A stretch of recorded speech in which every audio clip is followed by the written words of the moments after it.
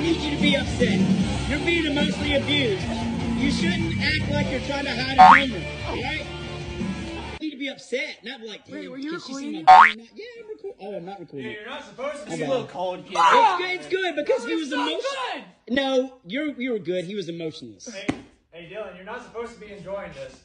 I know. Look sad, look angry, look surprised. Whatever you it comes natural to you, other than It's the natural response. Why am I turned on right now? I understand, but the world may not.